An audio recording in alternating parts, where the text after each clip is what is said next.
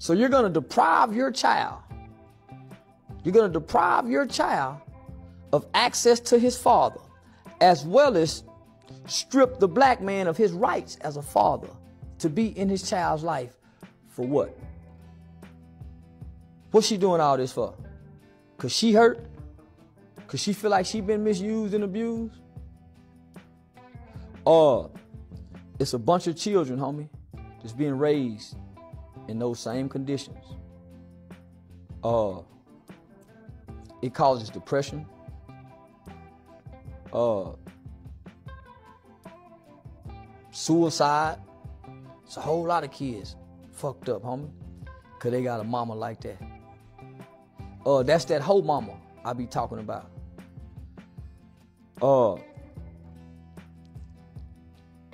I, I guess we all do it when we're young. Uh, you work, you work against one another. As baby mama and baby daddy, you you work against one another. Uh,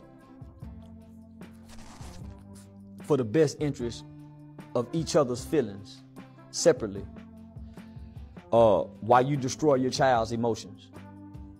That's what that's what you, that's what we do, homie. So you, you know, I don't always agree with Charleston White. I think he says a lot of outlandish things at times, but when you really listen to a lot of things that he says about relationship dynamics and uh, you know parenting and all that, a lot of that stuff is spot on, just like this video.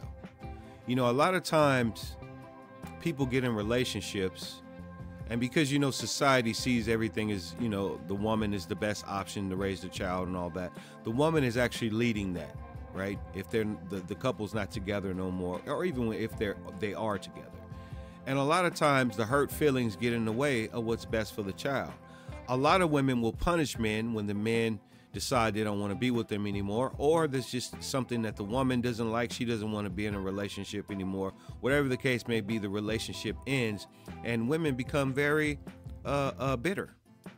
They want to start trying to keep the child away. They want to start playing games. Um, from my own personal experience, I was raised by a single mom.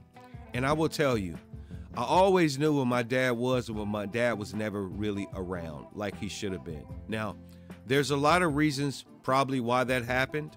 Some of that is probably my mom's fault, and some of it is probably his fault. But the bottom line is this when you have a child or children, you have to understand that they come first. You are no longer uh, in a world that just involves you. You have to put them first. You have to stop being selfish, stop thinking about your own selfish needs because if somebody from the outside came and attacked your child, you would be the first one to want to throw hands. You would be the first one to defend your child. But why is it when it comes to you as a parent making these bad decisions, you don't think the same way? Do you think because you're the parent that your kid will just get over it and they'll just forget about it and it's fine because you're the parent and they'll just forgive you? It doesn't work like that. That stains a child the rest of their life. Even to this day, I think about what if my dad was there? What if my mom and my dad was there in these certain situations? Even divorce. You know, when parents get divorced, kid parents are like, "Oh, it's not your fault. Me and your dad or me and your mom, you know, we just don't get along anymore and this was the best interest for you and all this stuff." But the kids still suffer from it because they still internalize it. They still believe it's their fault. You have to understand, children do not have the ability to reason. They cannot see this, the things that happen in their lives the same way you do.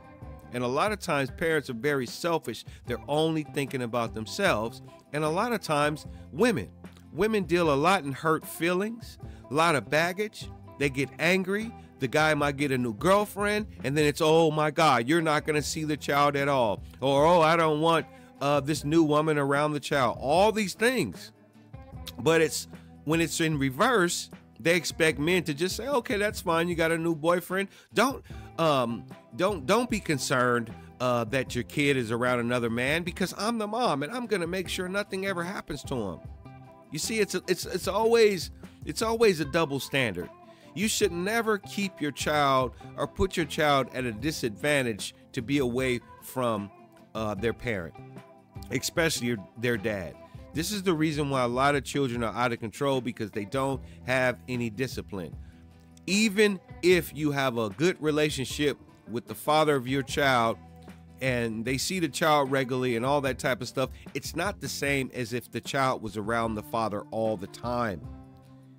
It's a huge thing.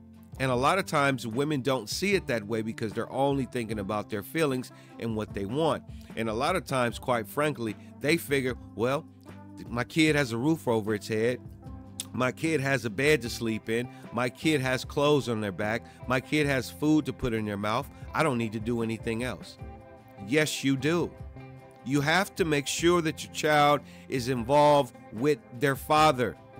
If you can lay down with the man and have a child, and vice versa, if you can lay down with the woman and have a child, y'all both need to make sure that you stay in the responsibility zone of taking care of your child.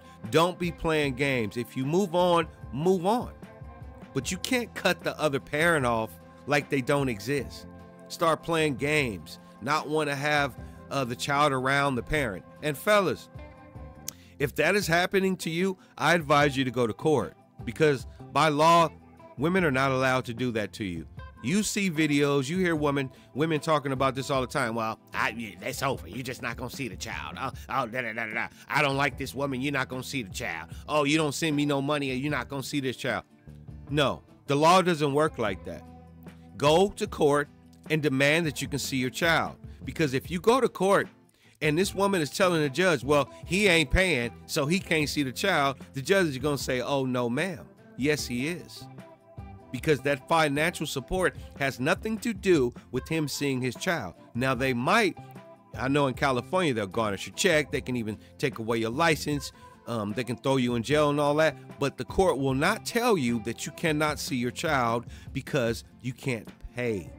So, if you're having this problem as a guy, go to court. I know you don't want to. Who wants to? But if you get to that point where you're feeling like, the woman is keeping your child away from you and you can't build a relationship and you're in that type of situation, just go to court and deal with it that way. Women go to court on men all the time. Simple as that. Right?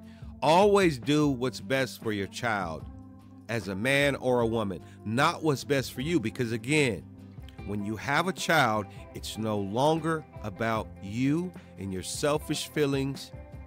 Get over it. You have the power to achieve anything you want. Don't let anything or anyone distract you from your goals. And remember, stay focused, stay strong, and stay positive.